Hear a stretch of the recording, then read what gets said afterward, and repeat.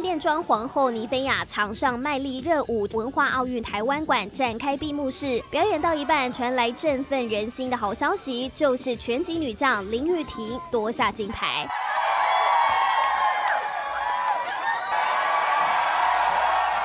全场嗨翻，高喊台湾！台湾女儿林玉婷夺金，用拳法战胜魔法。这回的性别争议炒作，国际拳总 IBA 和 JK 罗琳就是始作俑者，就连外媒也跟着瞎起哄。朱德代表谢志伟说，在这场金牌赛，德国公共电视第二台 ZDF 以双性和跨性别女生来称呼林玉婷，还一度说她是来自台湾的中国人，让谢志伟不忍了，漏夜写了封抗议信，批评评论员不专业，欠一个解释。是欠一个真诚的道歉。熬夜看比赛的立委沈博阳也是气愤难耐。我们的玉婷选手抵住了假消息，挺住了恶意，但接下来呢，有很多的工作要有更好的管道，能够固定的让我们的观点能够让国际媒体知道。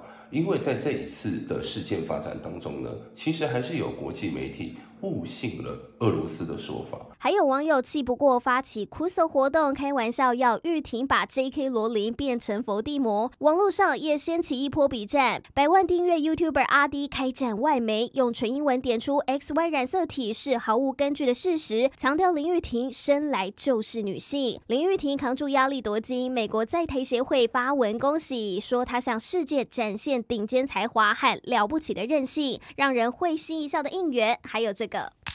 英歌国小挺校友放上这张幼齿照，让网友纷纷笑喊：重伤林玉婷的不是流言蜚语，而是这张国小毕业照。现在夺金，有网友再拿出林玉婷这段幼时影片来回味。希望我有一天也可以站上世界的舞台，发光发热。